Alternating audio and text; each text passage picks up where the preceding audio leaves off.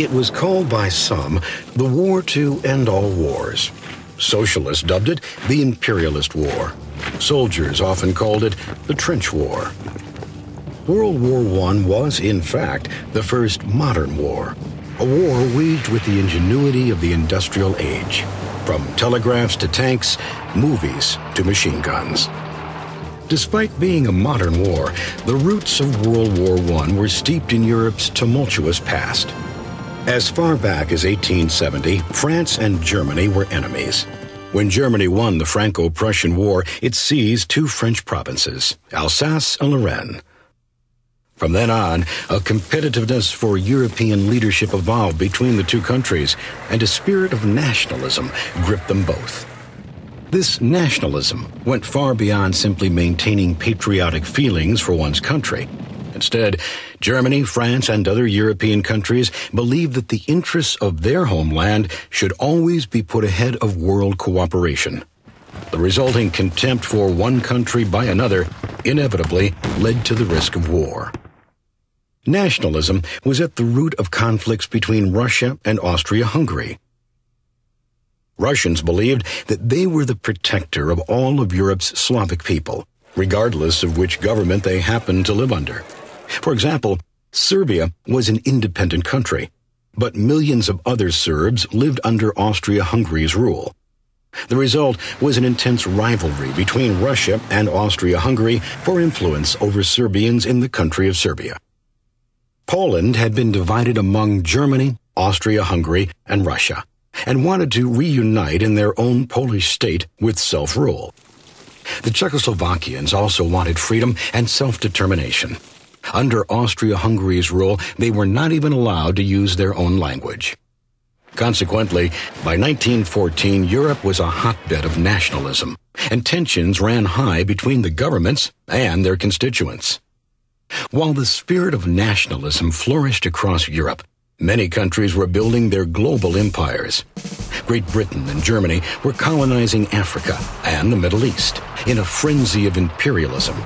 France and Germany were now rivals at home and abroad as they clashed over control of Morocco. Russia turned its attention to Europe as she sought control over the Serbs. The contest for international trade, resources, and land soon resulted in a buildup of military strength. The British, Germans, French, Italians, Japanese, and Americans began an arms race, stockpiling weapons, recruiting armies, and launching battleships to protect their interests at home and abroad. As each country amassed countless weapons and beefed up their army and navies, they saw the wisdom of agreeing to military alliances mutual treaties of assistance that would commit each nation to support one another should they be attacked. By 1914, there were two major defense alliances. The Triple Entente, later called the Allies, consisted of France, Great Britain, and Russia, although Russia had a separate treaty with Serbia. The other, the Triple Alliance, later called the Central Powers, included Germany, Austria Hungary, the Ottoman Empire, and Italy. Italy would later join the Allies. For a little while, these military alliances served as a type of checks and balances system, with each nation reluctant to upset the balance of power. But despite these alliances, war soon erupted. A single event would soon tip the scale.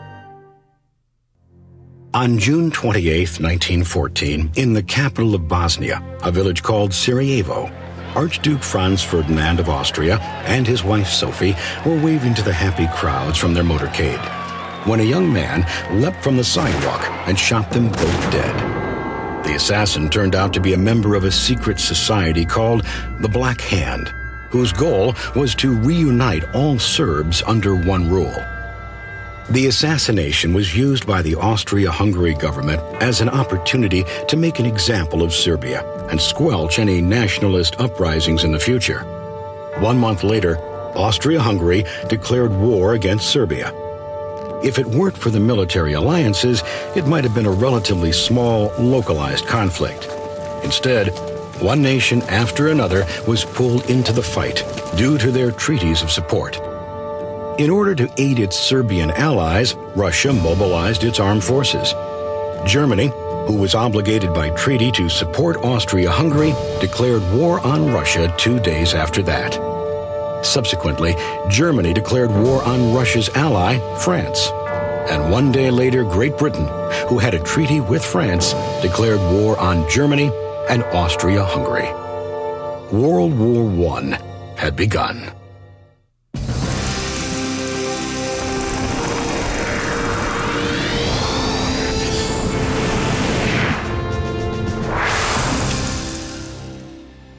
As Germany invaded the neutral country of Belgium, no one foresaw how long the war would last and how gruesome the cost would be.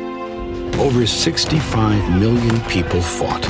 Over 20 million were wounded. Between 9 and 10 million died on the battlefield, and another 20 million lost their lives due to hunger and disease related to the war. The magnitude of the killing was unprecedented. In just the first three months of the war, nearly the entire original British Army was wiped out. Despite all the carnage, the battle lines remained almost stationary in France. The Western Front, as it was known, was defined by two lines of trenches, zigzagging across northern and eastern France for thousands of miles. Wide enough for two men to walk abreast and stand erect to fire their machine guns, the trenches were choked with mire, rats, and lice. German soldiers occupied one line, Allied soldiers the other. Between them lay a no man's land, filled with barbed wire and mud, smoldering with bomb craters. From time to time, soldiers would storm out of these trenches and attempt to overrun the enemy, only to be met with a hail of bullets. Both sides suffered hundreds of thousands of casualties while accomplishing practically nothing, as the battle lines remained essentially unchanged. Meanwhile, the tools of technology, which had provided prosperity for the industrialized world, were now being used to create more efficient and more ghastly weapons. A soldier described the shocking sight of a machine gun that could fire 500 to 600 bullets per minute. I saw trees as large as a man's thigh literally cut down by the stream of lead. In 1914, the German army deployed their new cannon against Belgium.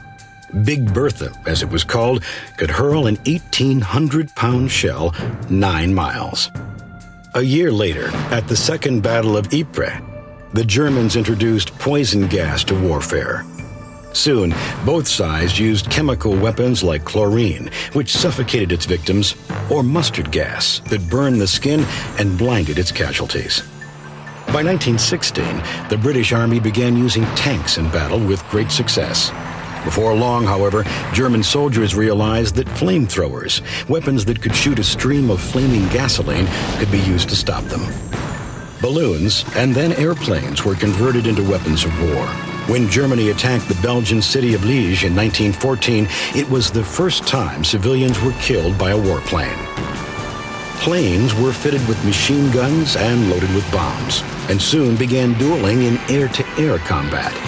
These dogfights became a common sight over the skies of Europe. Germany's leading fighter pilot, Manfred Richthofen, nicknamed the Red Baron by the British because of his brightly painted red Albatros airplane, shot down 80 Allied aircraft before being struck by a bullet from the trenches and crashing to his death. If I should come out of this war alive, I will have more luck than brains. Even more destruction was waiting on and under the Atlantic Ocean as Germany pressed its Unterseeboots, its submarines, into the battle. German submarines U-boats patrolled the Atlantic, firing torpedoes on merchant ships trying to deliver supplies to the Allies. It aroused the anger of Americans in particular because they felt that this was a violation of the principle of the freedom of the seas, long a cornerstone of United States foreign policy. Germany then launched a U-boat blockade in response to the British blockade along the German coast which in theory prevented contraband, weapons, and military supplies from reaching Germany. But the British definition of contraband was wide sweeping, including food and fertilizer for crops. 750,000 Germans died of starvation during the British blockade. 75,000 people lost their lives due to German submarine warfare. The blockades continued the pattern of war begun in the trenches. Everywhere, the fighting was inconclusive, while the new technologically advanced weapons made the lack of victories more devastating.